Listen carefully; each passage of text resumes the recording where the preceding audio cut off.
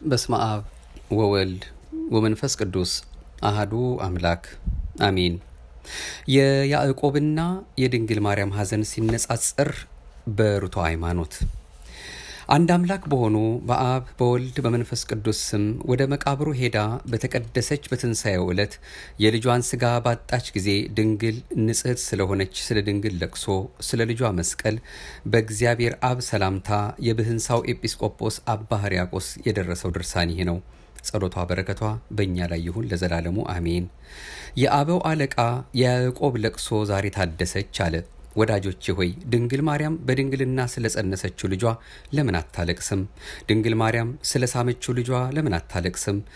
ድንግል ማርያም አምላካዊ በሆነ አፉ የድንግልና ጡቷን ወይም ወተቷን ስለሰጠችው ልጇ ለምን አታለቅስም? ድንግል ማርያም በቤተልሔም በረት ስለተወለደው ልጇ ለምን አታለቅስም? ዘጠኝ ወር በማኅፀኗ ስለተሸከመችው ድንግል ማርያም ለምን አታለቅስም? ራሄልስ እንኳ ፈጽማ ስላልሳመቻቸው ልጆቿ አለቀሰች። ድንግል ማርያም ከቦታ ወደ ቦታ ይዛው ስለተሰደደች ልጇ ለምን አታለቅስ? እንደ ሰው ሁሉ በእቅፏ ስለታቀፈችው ልጇ ድንግል ማርያም ለምን አታለቅስ? መቃብራቸውን ፈጽማ ስላላየችው ልጆቿ ራሄል ለምን አለቀሰች? ድንግል ማርያም አንድ በሆነው ልጇ መቃብር በር ለምን አታለቅስ? ያማረ ጽሕም የነበረው ሽማግሌ ለቅሶ ዛሬ በድንግል ዘንድ ታደሰ። ያዕቆብ ወንድሞቹ ሲያስሩት ወደ ዮሴፍ አልተመለከተም። ድንግል ግን ልጇን በመስቀል ተቸንክሮ ተመለከተችው። ያዕቆብ በእርሱ ላይ ያለቅስ ዘንድ በጥልቅ ጉድጓድ እያለ አላየውም።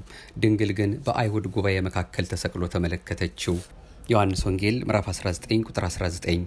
ያዕቆብ ዮሴፍን ወንድሞቹ ሲያራቁቱት አላየም። ድንግል ግን የሚመክራቸው ባጡ በአይሁድ ጉባኤ መካከል ራቁት ሆኖ ልጇን ተመለከተችው። ያዕቆብ ልብሱን በሌላ ደም ነክረው ዮሴፍ ወንድሞቹ በሀያ ብር ሲሸጡት አላየም። በእርሱ ላይም አለቀሰ፣ ልብሱንም ቀደደ። አምላካዊ ደም ግን ማርያም ስለ እርሱ በምታለቅስበት አለት ላይ ፈሰሰ። ድንግል ያየችውን ሌላውን ልብስም ለልጇ ዛሬ አለበሱት። ልብሶቹንም ለየራሳቸው ተካፈሉ። የዮሴፍ ወንድሞችስ በሸጡት ጊዜ ተጸጸቱ።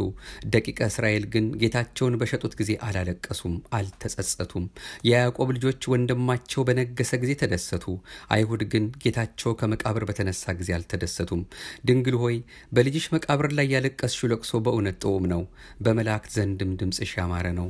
ማርያም ሆይ ልጅሽን በሹማምንቱ በመኳንንቱ መካከል አቆሙት፣ ሊቃነ ካህናት አይሁድ ፈረዱበት ብለው በነገሩሽ ጊዜ ምን ተሰማሽ? ማርያም ሆይ ልጅሽ ከተከበረ ልብሱ ተራቁቶ በፍርድ አደባባይ ነው፣ ምን ታደርጊያለሽ? የኢያቄም ልጅ ሆይ ልጅሽ በኢየሩሳሌም አደባባይ ብቻውን መስቀሉን ተሸክሟል፣ ወደ እርሱ የሚቀርብም የለም። ከዚህ ተቀምጠሽ ምን ታደርጊያለሽ? የሐና ርግብ ሆይ እነሆ ልጅሽን በቀራኔው እየሰቀሉት ነው፣ አንቺ ምን ታደርጊያለሽ? የዳዊት ልጅ ድንግል የዳዊት ዘር ድንግል ሆይ ልጅሽን ለምን በመስቀል ሰቀሉት? ድንግል ሆይ በእውነት በዮሐንስ ቤት ያለቀስሽው ለቅሶ አሳዛኝ ነው። ዛሬ የደረሰው ይህ ታላቅ ዜና መሪር ነው።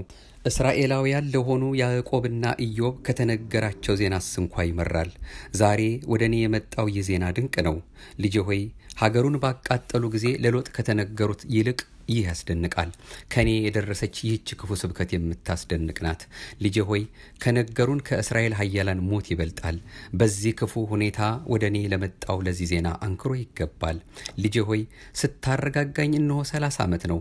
እቆጣ ዘንድም አልተቻለኝም። አንድ ቀንስ እንኳ አላመንኩህም። ዛሬ ባንተ የደረሰውን ትነግረኝ ነበርና ልጄ ሆይ የሐዘኔ ምክንያት ሰሎሜ ናት።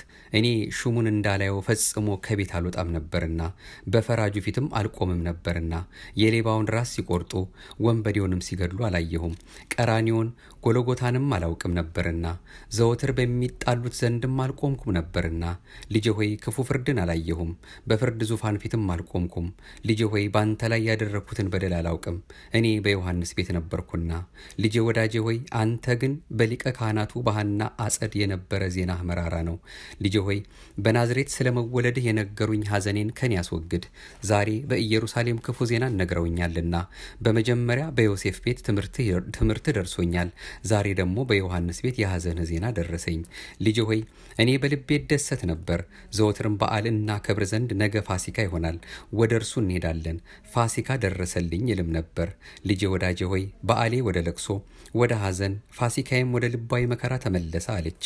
ድንግል ማርያም በዮሐንስ ቤት ሳለች ስለ ልጇ ካመጡላት ዜና የተነሳ ይህን ሁሉ ሐዘን ታዝን ነበር። ንጹሐን ከሆኑ ከሐዋርያትም ከእርሷ ጋር ይሄዱ ዘንድ አንዱን ትፈልግ ነበር፣ ነገር ግን አላገኘችም። አይሁድን ከመፍራት የተነሳ ሁሉም ትተው ሸሽተዋልና ከእርሷ ጋር ይሄድ ዘንድ ስለ ጴጥሮስ መረመረች፣ ጠየቀች። እርሱ ሊቃነ ካህናቱን ከመፍራቱ የተነሳ ልጅሽን ካደው፣ አላውቀውም አለ። ሄዶም ተሸሸገ አሏት። ስለ ያዕቆብ ሁኔታም ጠየቀች። እርሱም ልብሱን በተራራው ትቶ እንደሸሸ እንደያዙትም ነገሯት። እንድርያስንም ፈለገችው። እርሱ ከእርሱ ጋር ወደዚህ ሀገር አልመጣም አሏት። ቶማስም እንዲሁ ሸሽቷል አሏት። ስለ በርተሎሜዎስም መረመረች። እርሱም እንደ ወንድሞቹ እንደሸሸ ነገሯት።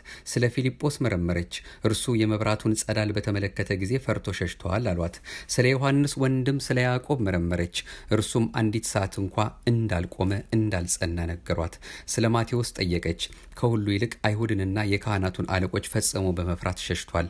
እርሱ በማይገባ ግብር ግብር ይወስድ ስለነበረ ይጠሉት ነበርና በሌሊቱ ጨለማ ሸሽተዋል አሏት። ስለ ሁሉም ሐዋርያት ጠየቀች። ወደ ቀራኒዮና ወደ ጎልጎታ ከእርሷ ጋር ከሄደው ከዮሐንስ በቀር ከእነርሱ አላገኘችም። ድንግልም ወደ ፍጹም ለቅሷ ተመለሰች። ከዮሐንስ በቀር ከልጇ ደቀ መዛሙርት አንድስ እንኳ አላገኘችምና ልጄ ወዳጄ ሆይ ወዮልኝ፣ ወንድሞቼ ሸሽተዋል ተሸሽገዋልምና ሌሊቱን ሁሉ እመረምር ነበር። አባቴ ጴጥሮስ ሆይ ወርቅ ብር አልተሰጠህ፣ ጌታህን ለምን ካድከው? የመርከብ ባለሙያ አልሰጠኸውም፣ መምህርህን ጌታህን ለምን ካድከው?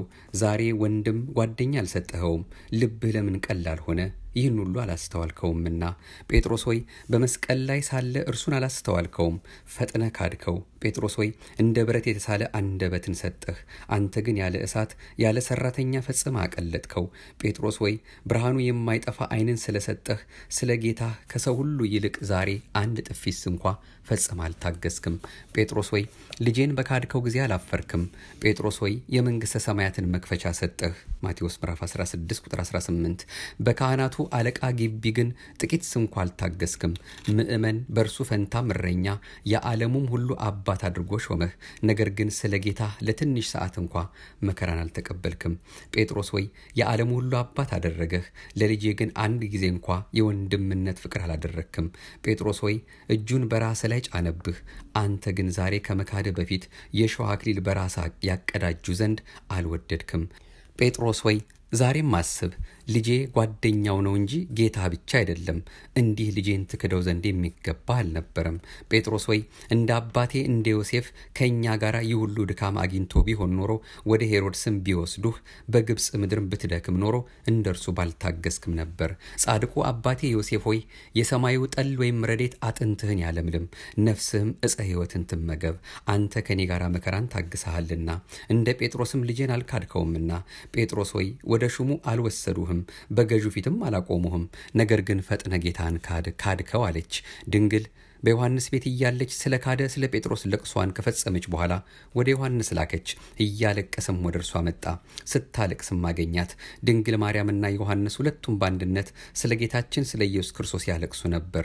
ዮሐንስም ድንግል ማርያምን እናቴ ሆይ ጌታችንን ስለ ካደው ስለ ጴጥሮስ አታልቅሺ፣ አሳልፎ እንደሰጠው እንደ ይሁዳ ነውር የለበትምና እኔ በምግብ ሰዓት አባቴ ጴጥሮስን መምህሬ ክርስቶስ ዶሮ ሳይጮህ ሶስት ጊዜ ትክደኛለ ሲለው ሰምቻለሁና ጴጥሮስም ጌታዬ አምላኬ ሆይ ይህ ይሆን ዘንድ ሐሰት ነው፣ ብሞት ይሻለኛል እንጂ አልክድህም፣ ስለ አንተም ነፍሴን አሳልፌ እሰጣለሁ እንጂ ይህ አይሆንም ሲል ሰማሁት።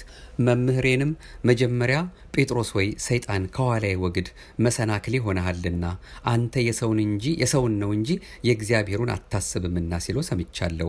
እናቴ ድንግል ሆይ ስለ አባቴ ስለ ጴጥሮስ አታልቅሺ፣ መካዱ ለብዙዎች ኃጢአተኞች ትምህርት ይሆናልና በእግዚአብሔር ቃልም ዋሽቷልና አላት። ድንግልን ግን ልጇን ስላላገኘችው ሀል ታላቅ ሐዘን ይከባት ነበር። በዮሐንስ ቤት ሳለችም ዳግመኛ ወደ ሐዘኗ ተመለሰች። ዮሐንስንም ዮሐንስ ወይ ወደ ቀራኒዮ መንገድ ትመራኝ ዘንድ አምልሃለሁ። ዮሐንስ ወይ ከኔ ጋር ወደ ጎልጎታ ትሄድ ዘንድ እማልድሃለሁ። ሲሰቅሉት ፈጽሜ አላየሁትምና ወንበዴንም ራሱን ሲቆርጡ አላየሁም። ሀገሬን ክብሬን እተዋለሁ። ልጄ ወዳጄን የሰቀሉበትን ቦታ አይ ዘንድ በእግሬ እሄዳለሁ።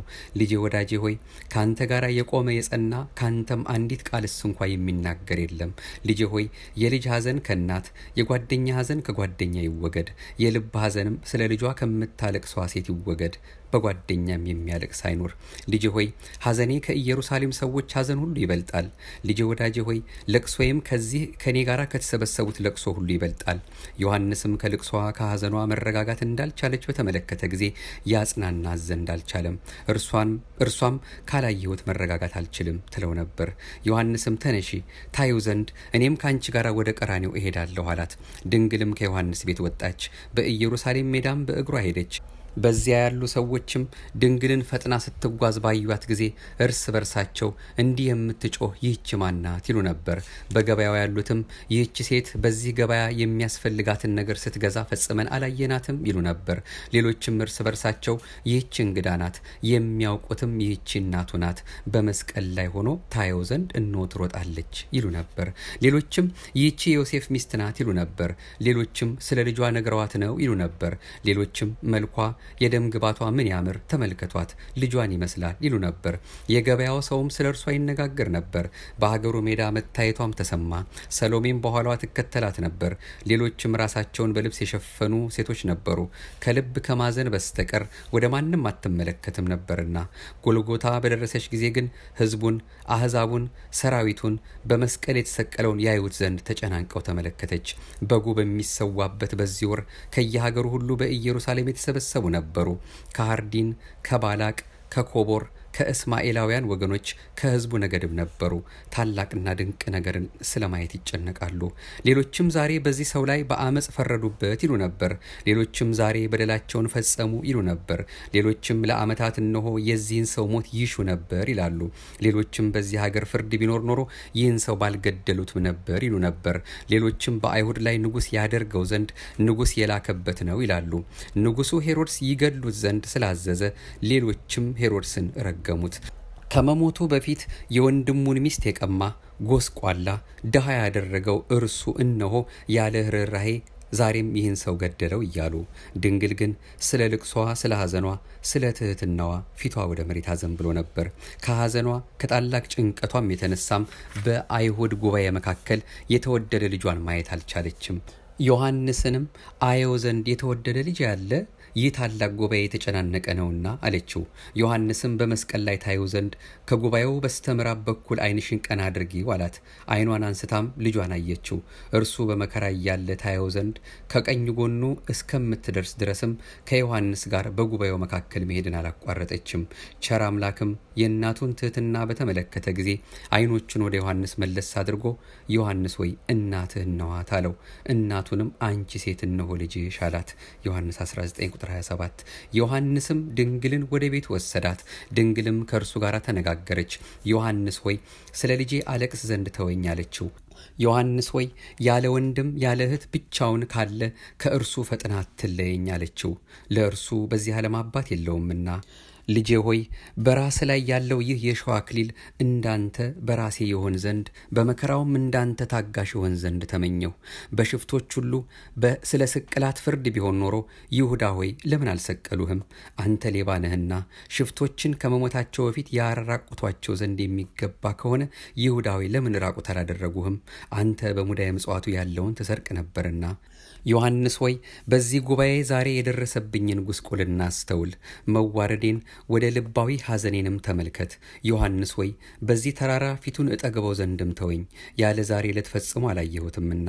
ይህ ተራራ የሙት ልጅ ማደሪያ ነውና በእርሱ ላይ አለቅስ ዘንድ ተወኝ። ይህ የኢዮብ መተኛው ነውና መከራዬ ከመከራው ይበልጣልና። ይህ መሬት የድሆች ሁሉ መተኛ ነውና ከእርሱ እጠግብ ዘንድ ተወኝ፣ ደክሞኛል። ከዚህ ሁሉ ሰውም እናት አባት ዘመድ የለኝምና አለችው። በልጇ ቀኝ ቆማ ሳለች ድንግልን ሐዘን ከቧት ጸንቶባት ነበር። በልቧም የሕሊናዋን ስቃይ ታስብ ነበር። ከማልቀስ በቀር ወደ ታላቁ ጉባኤም አትመለስም ነበር። ነገር ግን ሴቶች የኩዛ ሚስት ሐና፣ ማርያም መግደላዊት፣ ሰሎሜ በዚያ ቆመው ነበር። እነርሱም እመቤታችን ድንግል ማርያምን አቅፈው አነሷት። ልቅሷም በንጹሐን ሴቶች ሁሉ መካከል የሚያሳዝን ነበር። እነርሱም ስለ አነጋገሯ ጣፋጭነት ያለቅሱላት ነበር። ስታለቅስ የተመለከቷት ሌሎቹ የአይሁድ ሴቶችም ዛሬ በቀላችን ባንቺና በልጅሽ ተደርጓል እያሉ ያፌዙባት ነበር። ከወለድሽው ሁለት ዓመት በሆነው ጊዜ ጭናችን ልጅ አልባ ሆናለችና አሏት። ከሰራዊቱ ጋር ተቀምጠው የነበሩ የአይሁድ ሽማግሌዎችም ይገለው ዘንድ የሄሮድስን ልቦና አስጨከኑት። እነርሱ ጲላጦስ ክርስቶስን እንደሚወደው ለሄሮድስ ነግረውታልና ከሕዝቡ መካከል ብዙዎችም እንገድለው ዘንድ ካልሄድን ሕዝቡ ከኛ በእኛ ላይ ይነሳብናል፣ በጲላጦስ ምክርም ከእጃችን ይመልሱታል። ዛሬም ስልጣንህን ትእዛዝህን ሰቅለን እንገድለው ዘንድ ወደ እኛ ላክ። ስለዚህ ተግባር አይሁድ ብዙ ጊዜ የእጅ መንሻ ሰጥተውታልና በዚህች ዕለትም ጲላጦስ በእርሱና በአይሁድ መካከል ጠብ እንዳይሆን አልወጣም። ጲላጦስና ባለቤቱ እንደ ራሳቸው አድርገው ኢየሱስ ክርስቶስን ይወዱት ነበርና እንዲህ አድርጎ በመግረፊያ የገረፈውም አይሁድን ያስደስታቸው ልባቸውን ደስ ብሏቸውም ሳይሞት ይፈቱት ዘንድ ነው። ጲላጦስ የሚሰቅሉት መሆኑን ቢያውቅ ኖሮስ ባልሰጣቸው፣ እርሱም ሚስቱም ልጆቹም ከሞት ባላደረሱትም ነበር። እጁንም ፈጽሞ ባላስቀመጠም ባልነከረም ነበር። በራሱ የጸና ይህ ሰው ከገሰጽክልን በሰንበት ማንንም ዳግመኛ አይፈውስም፣ እኛም ፈተን እንሰደዋለን ብለው በሐሰት ነግረውታልና። በዚህ ሽንገላ ምክንያት ጲላጦስ ገረፈው። ቃሉን የማያምኑበትም መስሎት ነበር። እንደዚህ ባይሆን ኖሮ ይሰቅሉት ዘንድ ባልሰጣቸውም ነበር። ኢየሱስን ፈጽሞ የወደው ነበርና። ይልቁንም ሚስቱ በእውነተኛው ሰው ላይ ስላንተ እነግር ዘንድ በሕልም ታዘሃል፣ አትበድል በማለት ልካበታለችና። ስለዚህ ነገርም ጲላጦስ ከጌታ ደም ይነጻ ዘንድ እጁን ታጠበ። ልጇ በተሰቀለ ጊዜ የድንግል ለቅሶዋ፣ ሐዘኗ እንዲህ ነበር። ጸሎቷ፣ በረከቷ በሁላችም ላይ ይሁን አሜን። አቤቱ አንተን መፍራትን በልቦናችን በጎ አምልኮትህንም በህሊናችን ጨምር። ክብር ምስጋና ይሁን ለአብ፣ ክብር ምስጋና ይሁን ለወልድ፣ ክብር ምስጋና ይሁን ለመንፈስ ቅዱስ ዛሬም ዘውትርም ለዘላለሙ አሜን። ርቱዐ ሃይማኖት ከተባለው መጽሐፍ ነው ይህን መልእክት ያገኘ ነው። እግዚአብሔር አምላካችን አሁንም የሰማነውን በልባችን አሳድሮ ከእናቱ ከመብርሃን የሐዘኗን ሐዘን አድርገን እንድንካፈላት አሁንም አምላካችን በቸርነቱ ለእኛ ያደረገውን ያን ውለታ የምናስብበት ከሁላችንም ጋር የሚቀር በልባችን የሚታተም የመስቀሉን ፍቅር እንዲስልብን ፈቃዱ ይሆንልን። አሜን። ይቆየን።